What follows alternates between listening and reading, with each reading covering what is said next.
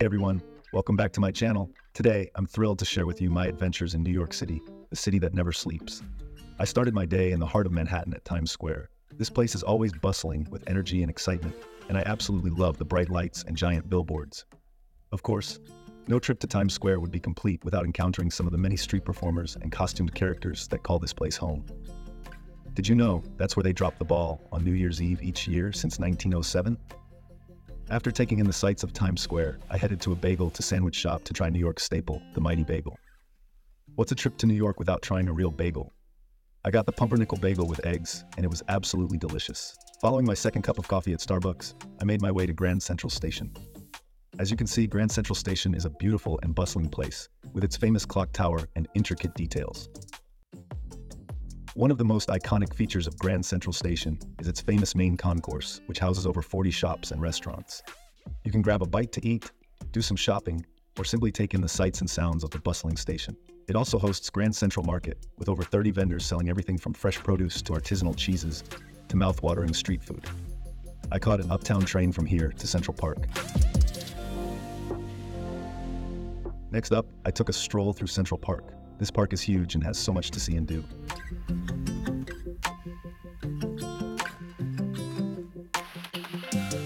One of the most iconic landmarks in Central Park is the Bethesda Fountain.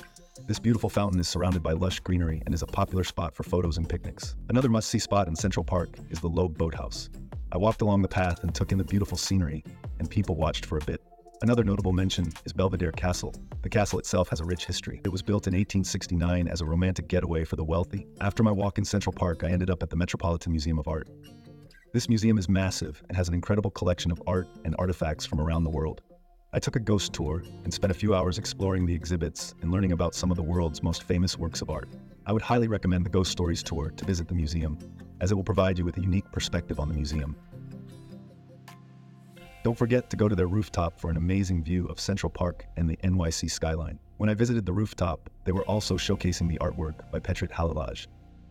After the museum, I grabbed a cab and headed to Momofuku Noodle Bar at Columbus Circle. This place is famous for its delicious ramen bowls, and it did not disappoint. I ordered the chicken ramen, and it was absolutely amazing. After lunch, I did some shopping on Fifth Avenue. I popped into J. Crew and picked up a few new pieces for my wardrobe. Then I walked back to my hotel via Fifth Avenue, taking in the sights and sounds of the city. After resting for a couple of hours, I headed down to Greenwich Village to meet up with a friend. We grabbed dinner at an Indian restaurant that was absolutely delicious. The food was amazing. After dinner, I stopped by Junior's for cheesecake before heading back to my hotel. And as luck would have it, I bumped into Daniel Radcliffe on the way. Talk about a celebrity sighting. Good morning. After grabbing coffee at Starbucks, I hopped on the subway to explore Soho, a lively neighborhood renowned for its shopping, dining, and artistic vibe with its cobblestone streets. My main reason for visiting Soho today is to indulge in the famous cronut pastry at Dominique Ansel Bakery. This delicious hybrid of croissant and donut is a must try for any foodie. Also, their cookie shot is the second best item on their menu. After satisfying my sweet tooth, I wandered through Soho's charming streets. In the afternoon, I made a quick lunch stop at Bagel Boss. I would definitely recommend this place. After lunch, I went down to the financial district. First, I visited Century 21, a renowned destination for designer clothes at bargain prices. Although the experience was slightly different post COVID, the thrill of finding great deals remained the same. Next, I visited the remarkable Oculus to admire its architecture. After that, I visited the 9 11 Memorial and paid my respects at the memorial pools. Finally, I stopped at Brookfield Place before heading back to my hotel. For dinner, I enjoyed a delicious meal with a friend at Los Tacos One, savoring their authentic flavors and cozy atmosphere. The evening was spent people watching at Bryant Park, a tranquil oasis in the heart of the city, where I soaked in the vibrant energy of New York. Today, I'm heading to the Lower East Side. Russ and Daughters and Katz's are the two most popular classic Jewish delis. However, I'm in the mood for a different breakfast experience, so I'm visiting the Remedy Diner. The diner has a cozy and intimate atmosphere with a retro chic decor that pays homage to the classic diners of the past.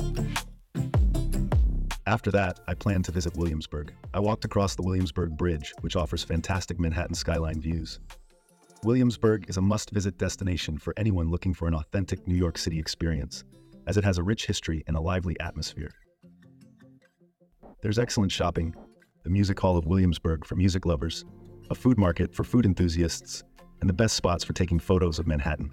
After walking around the neighborhood, I plan to stop by Martha Country Bakehouse for delicious pecan pie and chai. Next, I'll take the L train back to the 14th Street station. Before calling it a day, I visited Nordstrom Rack and Union Square Park, as heavy rainfall was expected this evening. Hi, I started my day with a delicious egg bagel and overnight oats. I stopped by Russ and Daughters for another bagel because, well, carbs are the best. My first stop was Vessel, a unique public art installation in Hudson Yards. Unfortunately, it's currently closed due to safety concerns, but I was able to snap some photos when it was open.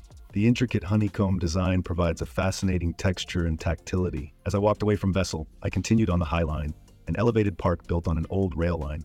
The views of the city were stunning, and I loved taking in the sights and sounds of the urban jungle. Along the way, I checked out some of the over 30 public art installations, including sculptures and murals.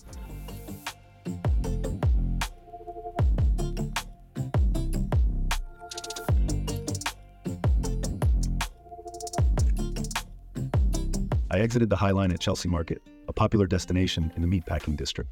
This seven story building is home to a variety of shops, restaurants, and food vendors.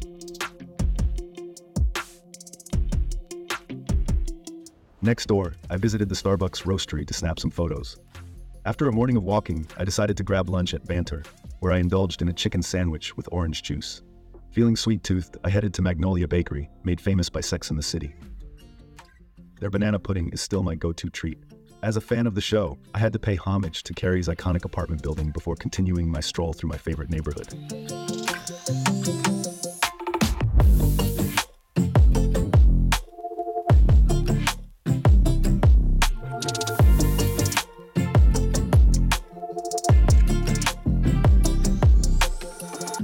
My feet were sore from walking so much, so I decided to head to Washington Square Park. It's a vibrant and iconic spot known for its beautiful architecture and lively atmosphere. The park is built on a burial ground and is said to be haunted.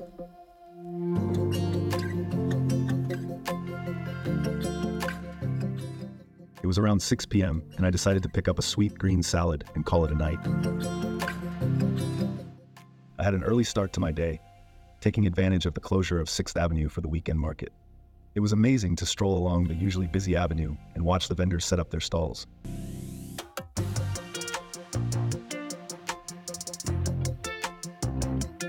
After my morning walk, I headed to the Brooklyn Bridge, one of NYC's most iconic landmarks. This suspension bridge connects Brooklyn and Manhattan, spanning an impressive 1.1 miles across the East River. As I walked across, I was treated to breathtaking views of the Manhattan skyline, including Empire State Building and Chrysler Building.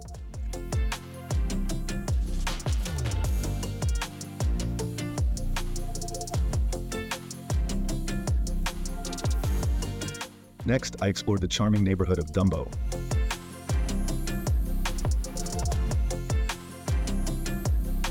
where I visited the Timeout Market, a vibrant food hall and market in the heart of Brooklyn. With over 20 vendors and restaurants to choose from, I couldn't resist trying another delicious bagel. For even more spectacular views, I headed up to the rooftop to take in the sights of the Manhattan skyline with both Brooklyn and Manhattan bridges. As I wandered through Dumbo, I couldn't resist snapping a photo of the iconic Manhattan Bridge and Empire State Building. As I made some plans with my friend for lunch, I headed back to the train station to catch a train to Chinatown. As I was early for lunch, I walked around the Chinatown, a vibrant and bustling neighborhood with a rich cultural heritage, featuring authentic street food and landmarks and much more.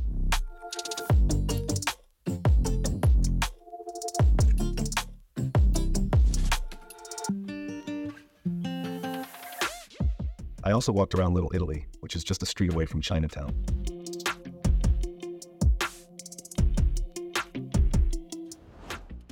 For lunch, we went to Nyonya, where we enjoyed divine food and hospitality. I highly recommend this spot. After lunch, I returned to my hotel for a quick nap before heading out for dinner. This time, I took the train to West Village and visited Fairfax for dinner.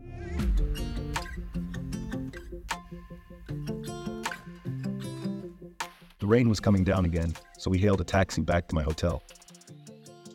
Our last day in NYC began with a visit to the One Vanderbilt building. We had booked our time slot online, and upon arrival, we found a long queue that moved very quickly. Most of the building is dedicated to office space, while the top floors house the Summit One Vanderbilt observation deck, divided into different sections. The first part, Rise, includes three high speed elevators that swiftly transport visitors from the Grand Central Terminal level to the observation area 1,020 feet above ground in less than 50 seconds. The reflecting mirrors offer great photo opportunities.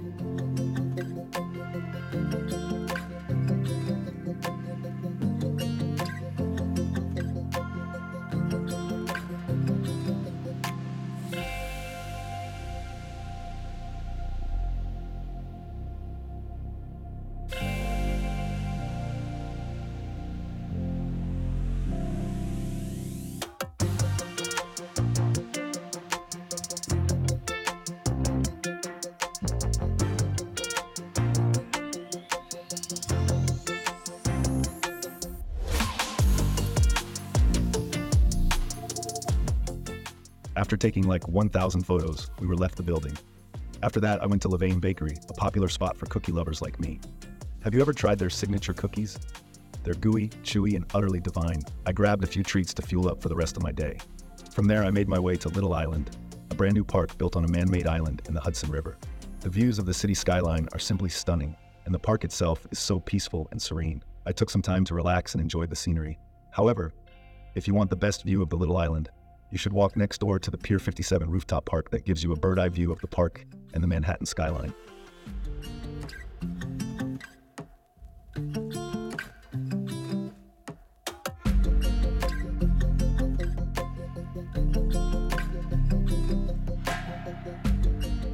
Finally, I ended my day with dinner at Delmonico's. The interior of Delmonico's is a step back in time, with its ornate chandeliers, dark wood paneling, and antique furnishings. We started with burrata for entree, then had lobster and salmon for mains. We finished off with a baked Alaska, completing this delicious meal. And just like that, my time in New York was over. Thanks for watching, and until next time,